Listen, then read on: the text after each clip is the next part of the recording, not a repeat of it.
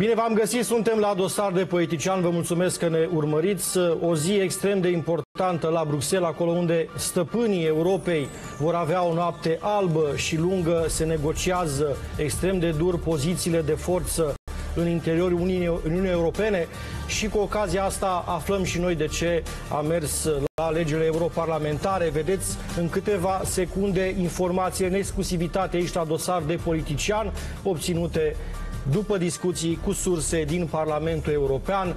În această seară se va pune, se va perfecta practic uh, funcția cea mai importantă a Europei, președintele Comisiei Europene a fost cedat de Partidul Popular European, din care face parte și PNL, și președintele României, Claus Iohannis, președintele Comisiei Europene, urmează să fie Franz Timmermans, liderul socialiștilor, asta deși popularii au câștigat uh, alegerile europarlamentare.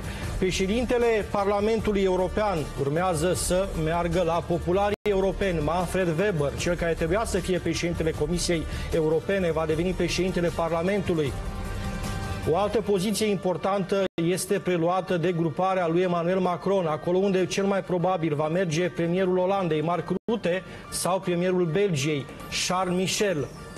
O a patra poziție, cea de înalt reprezentant, adică ministrul de externe al Uniunii Europene, urmează să fie ocupat de o un politician din Bulgaria, încă nu este clar cine va fi desemnat purtător de cu, uh, uh, ministrul de externe al Uniunii Europene, iar a patra, a cincea poziție, de fapt, președinte al Băncii Centrale Europene, va fi adjudecată această poziție de gruparea președintelui Macron. Da? Formațiunea Renoim Europa, condusă la nivel de european de Dacian Cioloș, care este liderul de grup al acestei grupări politice din Parlamentul European, președintele României, Claus Iohannis, în urmă cu câteva minute a confirmat negocierile dure care se poartă la Bruxelles. Claus Iohannis a ieșit Numele lui a ieșit din orice discuții privind o funcție importantă, așa cum s-a speculat de două săptămâni, așa cum presa europeană a speculat. Președintele României, Claus Iohannis, a anunțat încă de ieri, după întâlnirea G24 de la,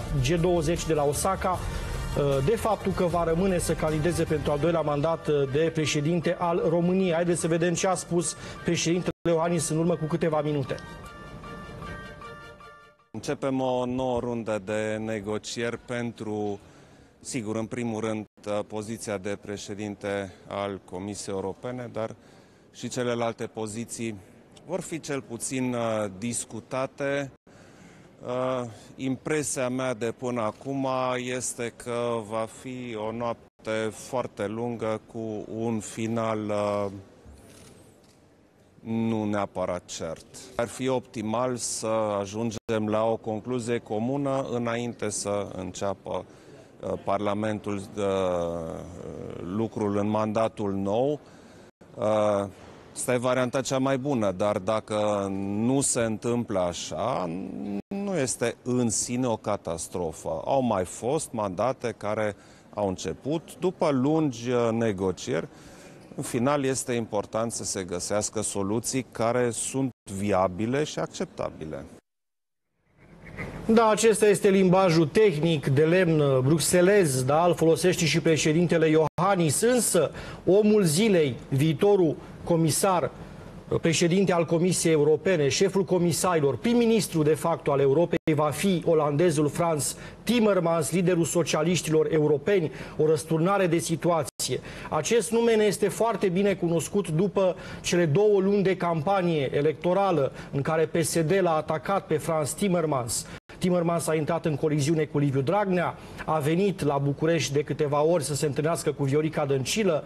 Liviu Dragnea l-a atacat public cei de la PSD, dacă vă aduceți aminte, au făcut o adevărată uh, campanie împotriva lui Timmermans și au lansat și o mania, o mania electorală cu ținta uh, fiind acest domn Franz Timmermans, un personaj extrem de interesant, ofițer de informații în armata olandeză apoi detașat la Moscova în anii 80. Franz Timmermans, un ofițer de informații olandez care va conduce Europa, probabil începând cu săptămâna viitoare. Haideți să ne aducem aminte de maneaua de campanie lansată de PSD împotriva actualului posibil președinte al Europei.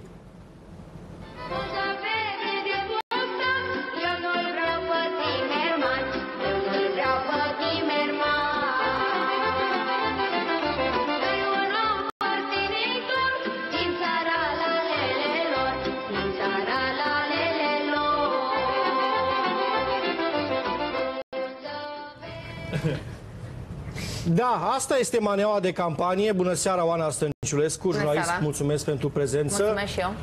Mihai Belu, jurnalist, bună seara, Mihai, mulțumesc seara, pentru prezență și scriitorul Florin Iaru.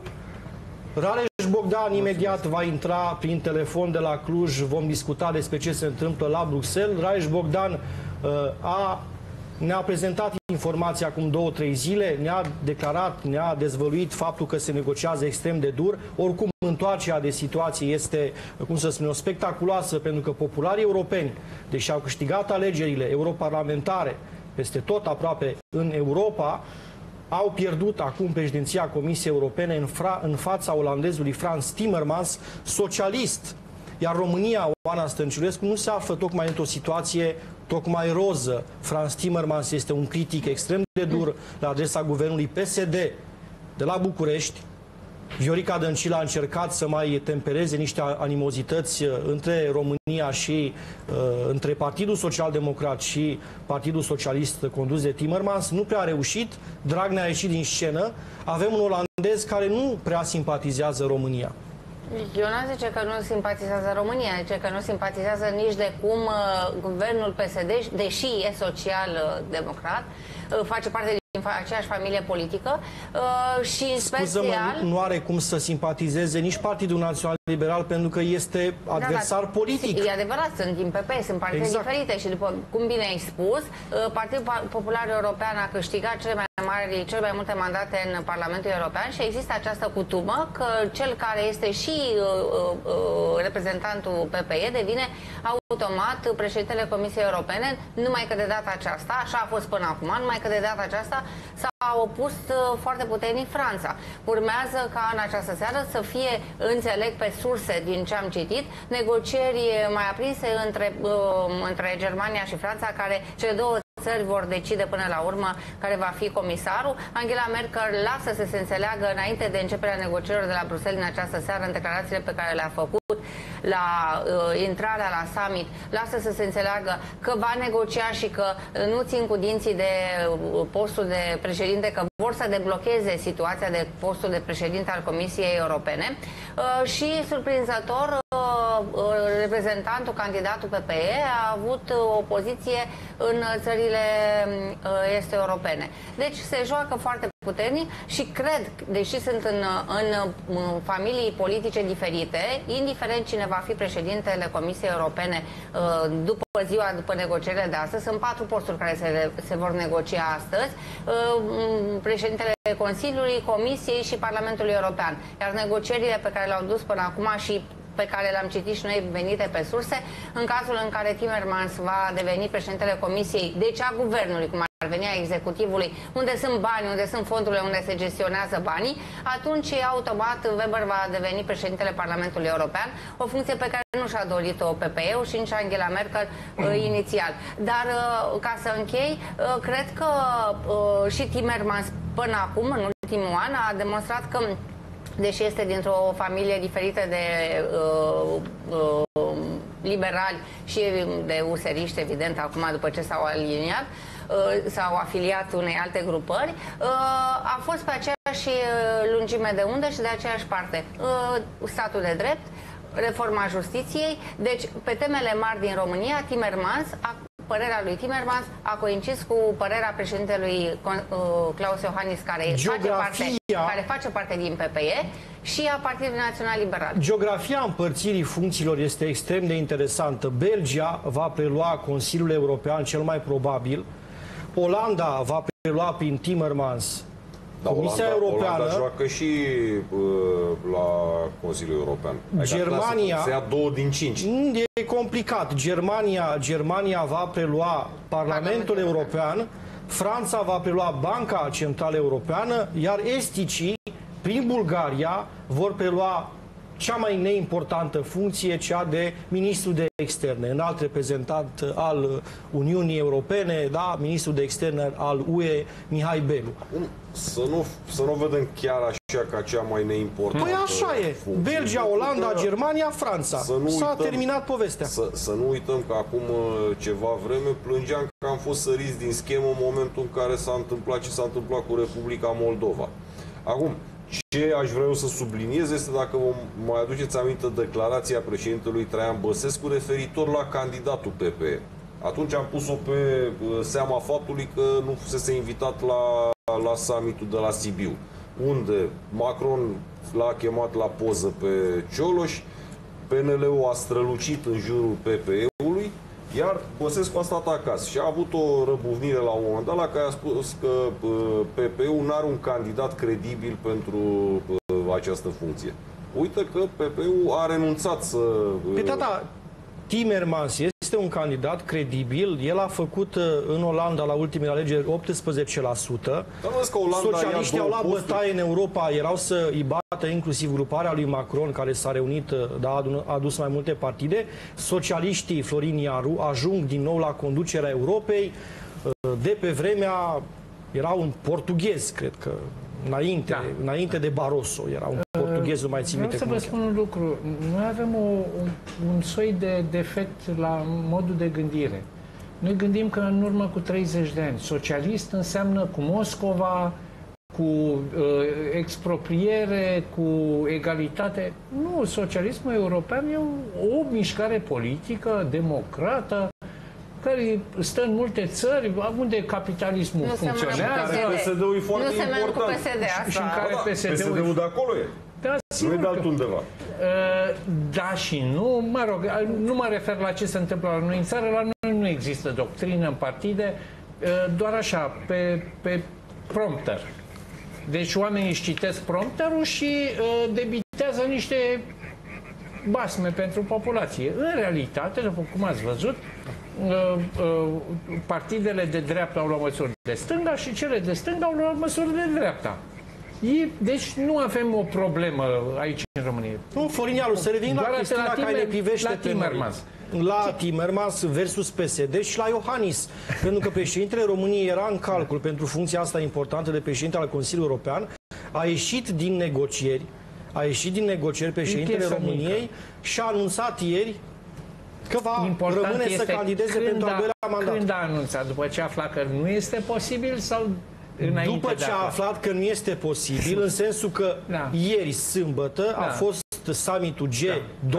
Da. unde cei cinci mari Europei, adică Franța, Italia, Spania, Germania da. și Franța, au s-au înțeles să, să cedeze comisia... Să vă, da, uite, întreb pe toți cei de aici din platou. Care a fost impresia europeană despre cele șase luni de zile românești la conducere? extraordinară. A fost o impresie o felicitări. bună. Da. Deci despre Donald ce, Tusk deci despre ce România. Încă o dată, deci despre ce vorbim? Da. Cine a fost la conducere? Iertați-mă că vă întreb. Nu cumva a fost guvernarea PSD? Că dați-mi voie să râd. Deci, țineți minte că în anul trecut eram oficial în România nepregătiți. La sfârșitul celor șase luni am fost nu numai pregătiți, dar și foarte mult, dar mi-aduc aminte de, de ciocnirile dintre fostul președinte Băsescu și fostul prim-ministru Tăricianu. În țară Tăricianu era catastrofă și în exterior Băsescu se lăuda cu guvernul ăsta. Dar întotdeauna s-a întâmplat lucrul ăsta. Pe mine mă umflă râsul. Suntem victimele ipocriției și nu, nu avem uh, acest uh, dram de demnitate să ne amintim ce s-a spus și ce s-a afirmat despre oamenii politici și despre conducere. Uitând în același timp că nu oamenii politici conduc țara decât în momentele nefericite ale ei. În rest, țara e condusă de un grup de tehnicieni care fac calcule, care eșalonează, care se gândesc la ziua de mâine, mai au niște prieteni statul în străinătate. Paralel. Statul paralel. Nu e, dar nu e statul paralel în sensul cel rău al cuvântului, ci în sensul bun al cuvântului, pentru că politicienii, după cum ați văzut în România, dimineața se scoală cu niște idei trăznite. Și ăia de dedesubt se străduiesc să-i pună la locul lor, să, Bun. să facă puțină Europa, ordine. Europa de Est a ieșit din orice uh, negocieri și orice șanse de a avea o funcție importantă. Președintele Claus Ioannis era în cărți pentru președinția Consiliului European după ce Polonia nu mai putea să o ia prin Donald Tusk.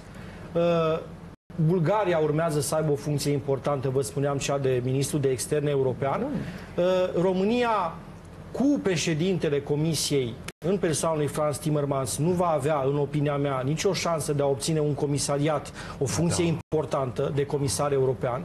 Da. Și încet, Pun încet viziunea, viziunea lui Macron da. de o Europa cu două viteze se pune în aplicare. Eu sunt sigur că ăsta a fost și jocul lui Iohannis.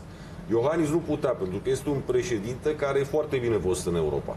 Și el nu putea uh, să se ducă acolo sau să candideze pentru funcția de ministru de externe al Uniunii Europene, care nu că nu e importantă, dar e o funcție care nu dar oferă nu... puterea care i s-ar cuveni lui Iohannis. Eu cred că Iohannis s-a dus acolo, a văzut lupta cât de dură este și sunt sigur că funcția de comisar pe care România o va obține va fi o chestie nesperată pentru, pentru țara noastră. Anunțul lui asta cred că exact. a, a fost și a fost făcut Dar... în momentul ăsta din acest motiv. Pentru că a avut o negociere, să și vedea din mimica uh, gesturilor, a avut o negociere bună care s-a lăsat uh, cu un rezultat bun. Și vom vedea în, uh, nu în perioada următoare. Nu cred că a fost vorba despre nume, că nu a fost Weber sau Klaus Iohannis sau un alt nume agreat. Cred că a fost vorba de supremația PPE-ului după atâta vreme, uh, precedentul, venind după mulți ani în care PPE-ul a condus majoritatea instituțiilor europene și socialiștii au vrut să recupereze cu ajutorul lui Macron. Da. Deci despre asta este vorba, nu că n-a fost Weber sau Klaus Iohannis agreat agreați și că de asta ei nu sunt acum în funcții. Nici vorba, a fost o negociere pe familiile politice, iar PPE-ul da. Nu care se mai era de nimic. Cioloș, de exemplu, este de dreapta la București, iar la Bruxelles A, Cioloș este de stânga cu Macron și cu socialiștii. Bună seara, domnule Traian Băsescu. Bună seara. Da, ați văzut informațiile noastre, ați admis că cel puțin la cum arată în momentul ăsta sunt uh, informații bune, să spunem așa. Charles Michel, uh, Charles Michel da, uh, premierul Belgiei și Mark Rutte ar urma să fie la Consiliul European, Parlamentul European la Weber, la Populari, uh, Franz Timmermans, socialiștii să ia Comisia Europeană, un, uh, un alt reprezentant din partea Bulgariei, din partea PPE, ar urma să fie ministrul de externe al Europei și Banca Centrală Europeană, cel mai probabil alocată Franței. Cum au pierdut popularii puterea în Europa așa de rapid? Uh, cred că ne privim, dacă vreți să fiu foarte sincer, uh, pe de o parte. Pe de altă parte, eu aș uh, așeza lucrurile în altă parte puțin.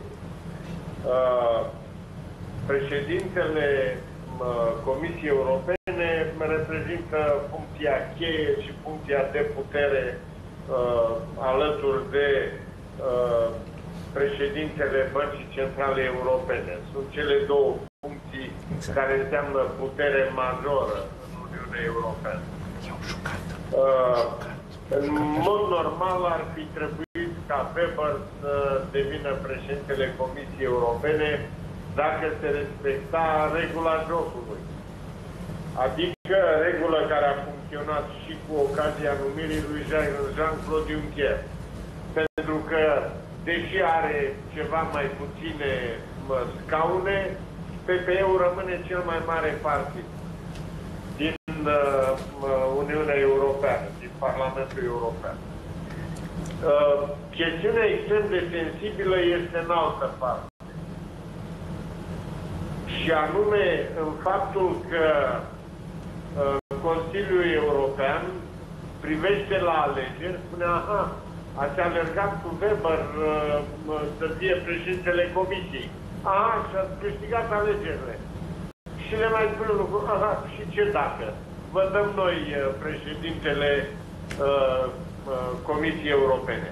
Deci cred că aici este marea problemă a relației Parlament-Consiliu European. Uh, și nenominalizarea lui Weber uh, este o mare înfrângere a Parlamentului European pe de o parte, dar și mă, un semnal de la Consiliul European. Vedeți voi cu Parlamentul că totul are o limită, nu ne putem juca de-a puterea.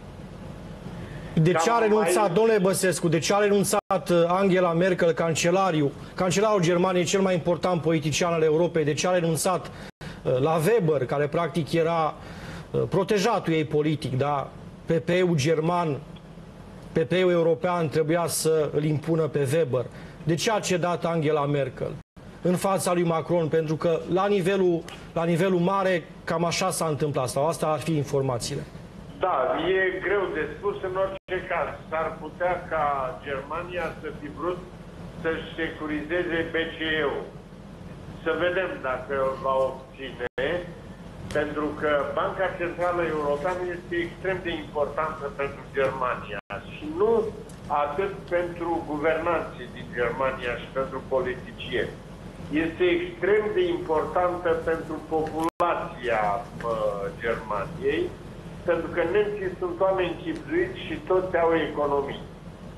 Uh, gândiți-vă că de câțiva ani buni, adică deja se cam fac vreo uh, 10 ani în dată, uh, Banca Centrală Europeană a ținut dobânzile uh, de la negativ la zero.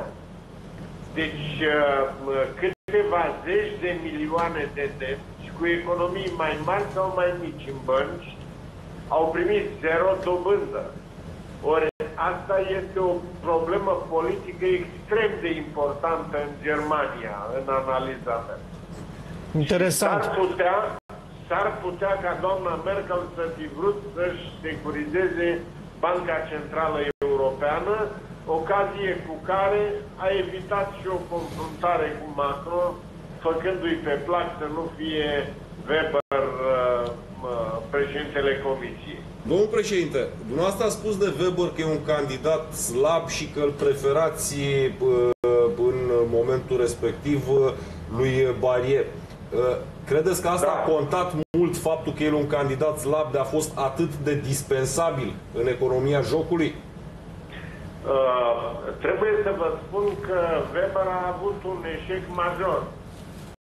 Uh, Eșecul major a fost în negocierile din Parlament, pentru că el n-a reușit să-și facă o majoritate în negocierile dintre grupuri pe care le-a condus. Negocierile cu socialiștii, cu grupul lui Macron, cu Verzi, cu cine o mai fi fost acolo. Deci, uh, uh, probabil ar fi fost altă situație dacă uh, Weber ar fi putut să spună astăzi am majoritate. Dar n-a putut să o spună mă, și atunci Consiliul zice nu ne pierdem vremea cu voi, vă dăm noi soluția.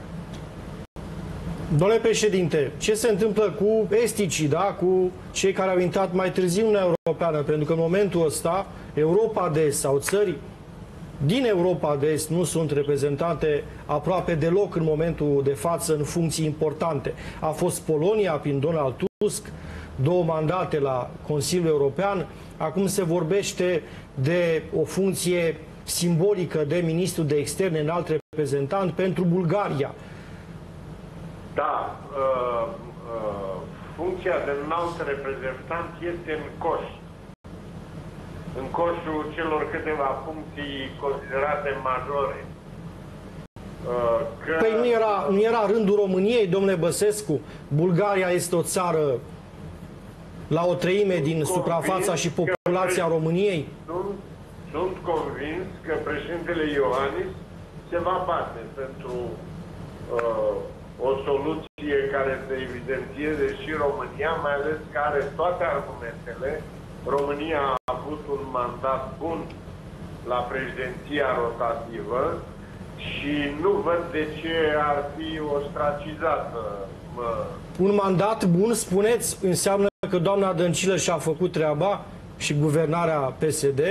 Nu, domnul Mănăstire, uite, pe banii Parlamentului European o să vă invit la Bruxelles într-o zi uh, și să mergem la reprezentanța Uh, uh, României de la Bruxelles. Sunt circa 200 de oameni uh, excepționali, care știu foarte bine și specializați pe transporturi, pe mediu, pe finanțe, pe ce vrei și ce nu vrei, pe toate consiliile pe care le are Uniunea Europeană. Deci specialiștii noștri de la Bruxelles până la urmă au reputat succesul ăsta, nu guvernanții. Da, în parteneriat și cu cei din ministere, pentru că aici discutăm de o mă, victorie tehnică, nu politică. Aici nu s-a negociat nimic politic, ci au fost capabili să dea soluții care să închidă dosare. Ăsta a fost merit uriaș și care nu-i puțin. Nu multe țări pot închide 90 de dosare într-un mandat. Sunt foarte curios să văd ce o să facă mă, Finlanda, mă, care se oferea să preia în locul nostru prezidenția. Deci uh, a fost o prezidenție de succes care ar trebui să ne pună în situația de a, uh, de a obține una din cele șase funcții importante. Care una dintre cele șase? La, la care vă referiți? La oricare. Cea mă, care mi s-ar fi cuvenit dacă priveam prin rotație, ar fi fost cea de președinte al Consiliului European. Sigur, o funcție mai mult decorativă și politică, nu de execuție, dar mă, vizibilă. Pe a căzut. Nu mai e posibil. Președintele Iohannis a spus că candidează pentru al doilea mandat, că nu e interesat de acea poziție, probabil după ce a aflat uh, la Osaka de discuțiile uh, dintre mai mari Europei, suntem în situația, și nu e vorba neapărat de România, este vorba de viziunea din punctul meu de vedere al președintelui Macron despre Europa cu două viteze și practic intrăm într-o nouă logică. Europa de Est, țările din al doilea sau al treilea val, ies practic din orice, domnul, din orice negocieri uh, și influență în Europa. Eu vă dau dreptate, dar nu m-aș înfuria înainte de a vedea mă, mă, toată configurația mă, de putere uh, și cum va fi repartizată uh, în zilele următoare. Deci n-aș uh, intra în panică la ora asta, pentru că sunt totuși esticii care nu sunt de neglijat, mai ales dacă se corelează. Gândiți-vă numai dacă pui voturile Poloniei și ale României la un loc, uh, ești uh, puțin mai mare decât Franța ca număr de voturi. Interesant. Poate ne fac surpriza, domnule Băsescu, să ne dea funcția de procuror uh, general european pentru doamna și și să ne împace iată, cu ocazia asta. Iată mă, o soluție.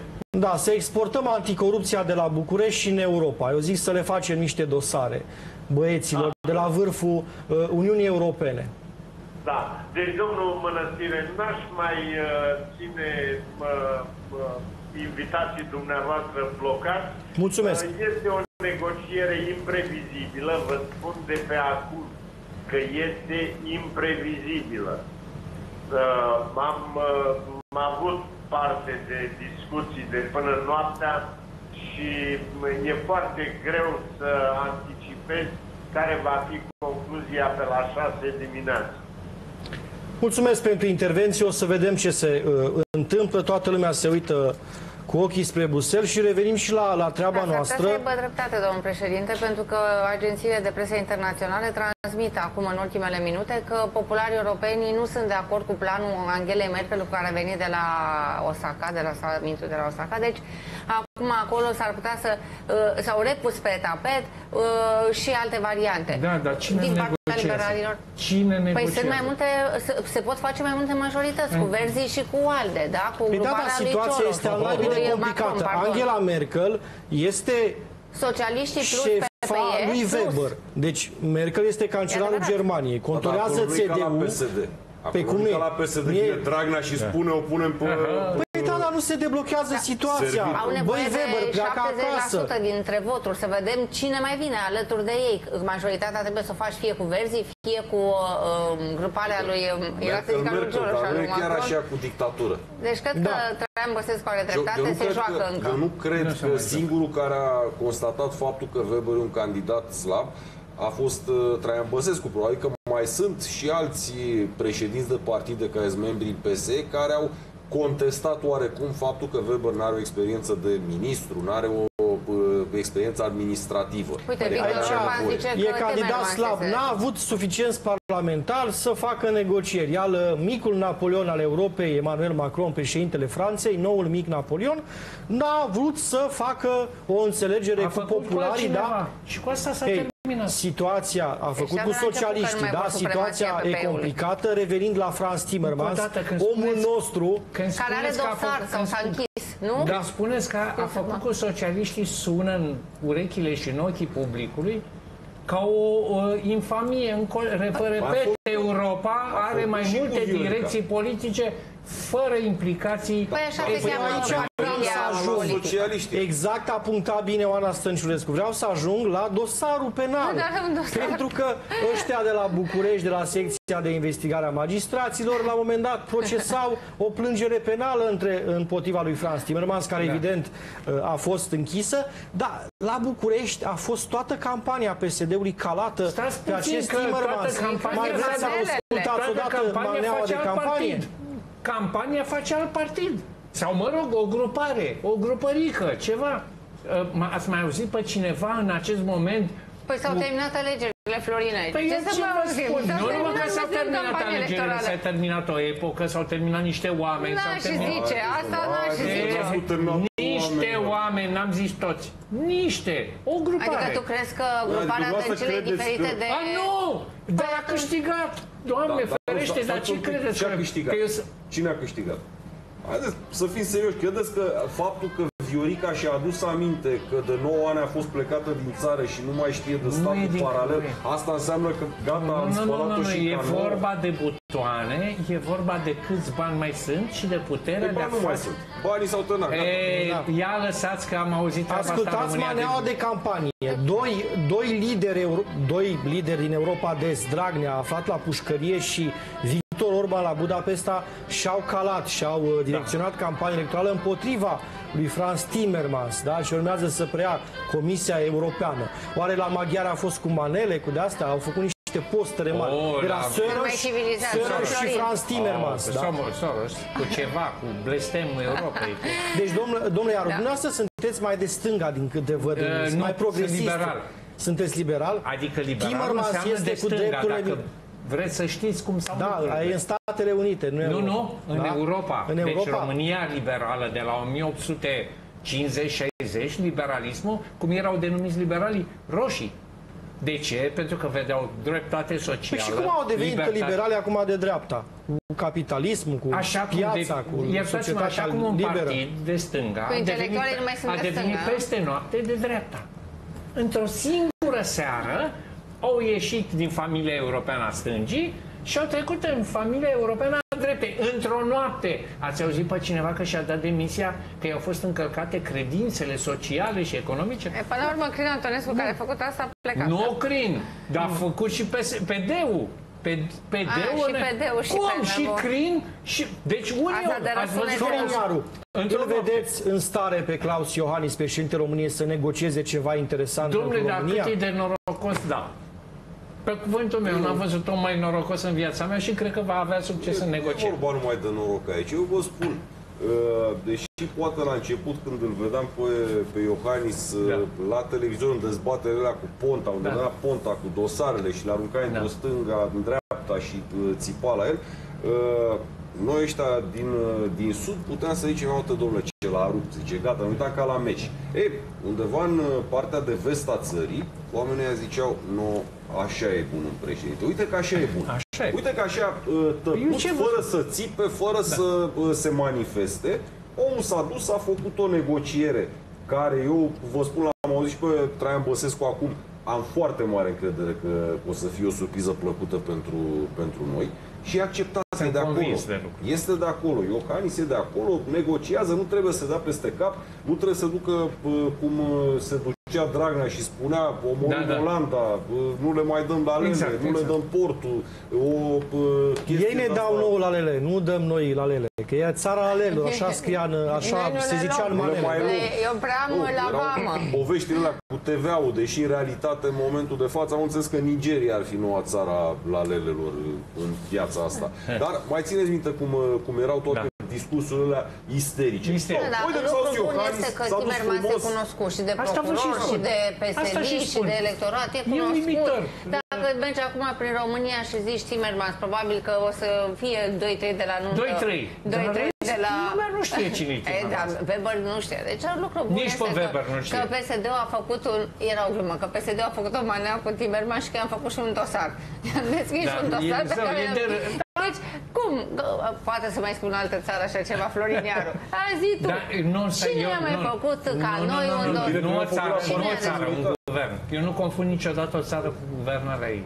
Nu confund Ungaria cu guvernarea lui Orban nu confund Polonia cu guvernarea poloneză. Slavă nu, Domnului că nici europenii n-au făcut-o până acum, exact. că dacă o făceau în ultimii da. trei ani, eram uh, de mult uh, nici după Bulgaria, mult încolo în spate. Dar faptul că n-au făcut-o și și-au dat seama exact cum stăm. Uitați-vă da. că PPE n-a luat Cel puțin că noi tot am râs uh, în bancurile noastre, în special da. în sudul României, eu am descoperit când m-am mutat la București acum mulți ani, bancuri cu bulgari, cu cefe late. Da. Bulgarii s-au scos pentru că Cristalina Georgieva, da. fost director general al Băncii Mondiale, urmează să preia fie Banca Centrală Europeană Coa. pentru Germania, Uh, în numele Germaniei, să nu credeți că Bulgaria a devenit uh, subit foarte importantă în Europa, sau funcția de înalt reprezentant al UE, uh, adică ministrul de externe. Bulgaria este în cărți, prin Partidul Popular European din Bulgaria, condus de Boico Borisov, este în cărți pentru una din cele șase funcții importante. România nu este în momentul de față în, nici, în niciun joc pentru o funcție importantă. Cristalina Georgieva, așadar, bul bulgarii, bulgarii sunt pe cale să primească o funcție importantă pentru că Emmanuel Macron a spus că Europa de Est trebuie să primească și ea cel puțin a, deci o funcție. Vă dați seama cât contează Cioloș pe acolo, pe la Macron, prin grupul ăla. Ei, contează pentru că e lider. e regulă, așa au stabilit. Ca Mai era o variantă să-l facă pe Cioloș, să-l facă pe Cioloș ministru de externe al Europei. Dar da. S-a decis să fie Bulgaria. Bulgaria este apropiată de Germania, sunt jocuri interesante la Bruxelles, din care România, din păcate, o spun, continui să spun lucrul ăsta, timpul o să-mi dea dreptate sau nu, peste o zi, două, o să vedem ce a obținut România din aceste negocieri. Partidul Național Liberal, reprezentantul PP în Europa, funcții multe, voturi multe, dar se pare că România nu este în cărți pentru nimic important în clipele astea. Pauză și revenim uh, cu informații de la Bruxelles. Rareș Bogdan va intra, va confirma și o parte din informații sau le, le va infirma. Scurtă pauză și revenim. Începem o nouă rundă de negocieri pentru, sigur, în primul rând, uh, poziția de președinte al Comisiei Europene, dar și celelalte poziții vor fi cel puțin uh, discutate. Uh, impresia mea de până acum este că va fi o noapte foarte lungă cu un final uh, nu neapărat cert. Ar fi optimal să ajungem la o concluzie comună înainte să înceapă uh, Parlamentul de, uh, lucrul în mandatul nou. Uh, Asta e varianta cea mai bună, dar dacă nu se întâmplă așa, nu este în sine o catastrofă. Au mai fost mandate care au început după lungi uh, negocieri. În final este important să se găsească soluții care sunt viabile și acceptabile. Bună seara, Aleș Bogdan! Bună seara, domnule Mănăstire, bună seara telespectatorilor dumneavoastră, salut domnul Iaru, pe domnul Belu și eu îmi permiteți să îmbrățișez pe fosta mea colegă Oana Stănciulescu. Ce informații ai de la Bruxelles? Bună seara, Rareș. Uh, foarte multe informații și extrem de proaspete. Practic, uh, la intrarea în summitul PPE, discuția a fost extrem de clară. Timmermans, candidatul socialiștilor, va fi uh, președintele comisiei, deci practic PPE ar fi urmat să piardă poziția și în cadrul summitului a fost o discuție extrem de dură, în care nucleul uh, am participat și eu ca șef de delegație a României la teleconferință, fiind încă în țară, abia mâine ajungând la Strasburg, n-având drept de participare la PPE, acolo a participat doar colegul meu Steve, ca vicepreședinte al Partidului Popular. Și am uh, spus extrem de clar, este inacceptabil din punctul meu de vedere și mă bucur că și președintele Băsescu are aceeași poziție și majoritatea colegilor mei, cei 14, este inacceptabil să dăm poziția de președinte a Comisiei, cea mai importantă poziție la nivel european din cele șapte, uh, socialiștilor. Sigur, domnul Timmermans a avut poziții uh, extrem de prietenoase față de România, față de doamna Chioveci, față de stat de drept, față, a atacat momentele în care Liviu Dragnea și PSD-ul în România derapa grav, dar dânsul este socialist și nu poate să conducă un socialist Comisia Europeană atâta timp cât alegerile la nivelul Europei au fost câștigate de populari, de populari europeni, cu 40 de milioane de voturi, iar socialiștii au luat undeva la 28 de milioane de voturi, cu nu mai puțin de 38 de parlamentari, europarlamentari mai puțin decât uh, populari.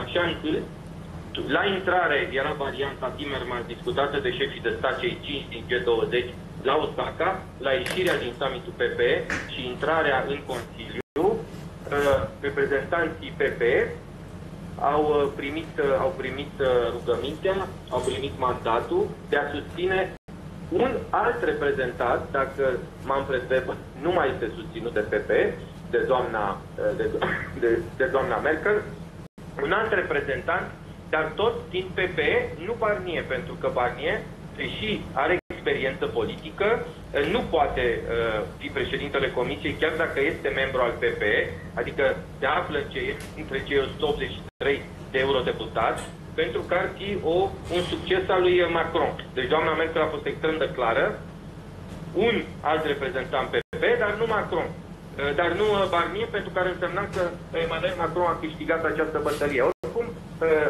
eu mă bucur că alocat timp și uh, pentru telespectatorii dumneavoastră, pentru cetățenii României, să înțeleagă ce se întâmplă la nivel european, pentru că deciziile uh, de la nivel european contează tot mai mult în viața de zi cu zi și în viața uh, românilor de aici și din afara uh, granițelor României, dar din Uniunea Europeană. Și trebuie să înțelegem că Emmanuel Macron a pierdut alegerile în Franța. Acolo le-a câștigat Marine Le Pen. Emmanuel Macron are 21 de europarlamentari și cu 21 de europarlamentari a reușit să blocheze practic toate negocierile și să țină în șac întreaga comisie pe un fond de slăbiciune pe care l-a avut inadmisibilă din punctul meu de vedere Germania și mai ales grupul uh, PPE, unde sigur Germania are uh, cel mai mare număr de eurodeputați, dar uh, sunt abia 29. Noi, gândiți-vă că suntem jumătate din numărul Germaniei, suntem al treilea grup din, din PPE și aveți un cuvânt foarte greu de spus, iar eu vă spun mâine la ora 16 o să am un discurs în Parlamentul European la Strasbourg uh, și o să spun extrem de clar că nu sunt de acord cu, ca un socialist. Eu n-am umblat pe toate dealurile și în toate cătunele, explicându-le românilor că, care au votat într-un număr uriaș Partidul Național Liberal, că uh, președinția Comisiei va aparține socialiștilor. Eu m-am lăudat și am, uh, am aplaudat când PP a câștigat alegerile. Este primul partid la nivel european și, sigur, ne-am dus pe această pe valori, pe morală, pe creștin-democrație, pe o Europa creștină, pe o Europa fără două viteze, pe aceeași politică europeană agricolă, nu pe o, o politică europeană schimbată așa cum vrea domnul Macron, Florin Iaru, o secundă, Florin Iaru vrea să te contrazică. Da, bineînțeles că vreau să contrazic. Uh, uh, uh, spuneți-mi, în, în, în alianța ALDE sau în alianța cu socialiștii, mai sunt partide liberale europene sau nu mai sunt? Mai sunt, mai sunt. Bun, deci de ce vă numiți atunci Partid Liberal dacă credința dumneavoastră este creștin-democrată? de ce nu vă numiți creștin-democrat? Partidul păi Național creștin-democrat. Păi dumneavoastră știți foarte bine, domnule, domnule Iaru, că valoarea, că grupul PPE are la bază, are la bază conservatorismul și are, e construit pe ideea de Ce căutați în PPE? democrație, dar pe acolo e locul nostru. Nu, domnule, sunteți liberal, iertați-mă, se numește Partidul Național Liberal. Dacă se numește Partidul Național creștin-democrat, sunt de acord. Schimbați-vă numele. Să, să auzim ce spune și Raș, că nu se înțelege. Respect, nu putem accepta liberalismul de tip Macron sau de tip Verhofstadt. Știți foarte bine cum e constituit grupul ALDE, vechiul grup ALDE și noul grup Renaissance ALDE USR Plus. N-au nicio legătură cu liberalismul, n-au nicio legătură cu dreapta, sunt mai mult neoprogresivi și să știți foarte bine lucrurile astea. Ce să căutăm noi acolo cu valoarea națională? Ați fost acolo 20, 24 de ani.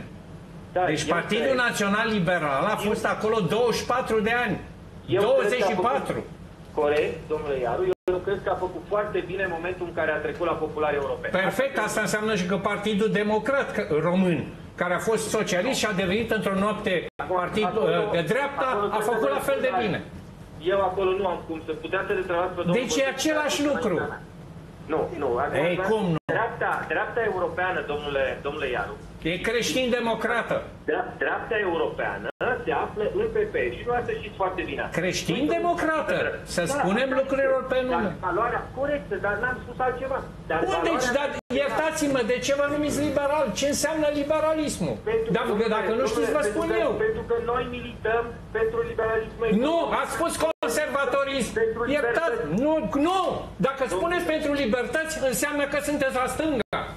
Dacă Domnul, sunteți pentru reglementare dacă și pentru interdicție, sunteți la dreapta. Dacă Sunt lucruri simple. S-au mai modificat nu doctrinile astea, s-a mai modificat semantica. Nu, nu mai continuăm.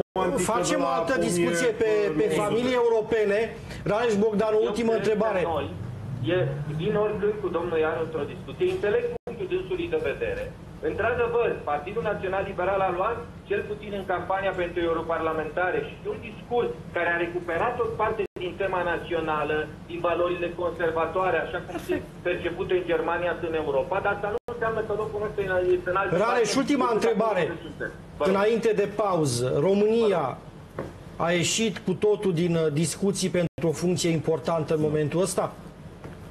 Eu sper că nu, dar în același timp trebuie să înțelegem că nu, atâta timp cât președintele României face foarte bine că candidează pentru al doilea mandat și mă bucur pentru că a, a anunțat decizia domniei sale, România, practic, nu are cum să ocupe uh, o funcție la nivel european, la nivelul Consiliului și cred că președintele uh, Iohannis trebuie să continue aici. Și foarte probabil vom vedea alți doi estici, sau din nou val, probabil premierul Croației sau premierul Letoniei, care să intre în, uh, pe poziția de, uh, de președinte al Comisiei Europene sau de președinte al Consiliului. La nivelul Parlamentului European, în afară de vicepreședinte, nu cred că putem ataca o altă poziție. Scurtă pauză și revenim cu informația asta. Deci Letonia și Croația... Alo? Luăm pauza comercială și revenim imediat la Eș Bogdan. Lucruri foarte interesante. Letonia și Croația, da? Noile vedete ale Europei de Est, România pas. Pauză și revenim.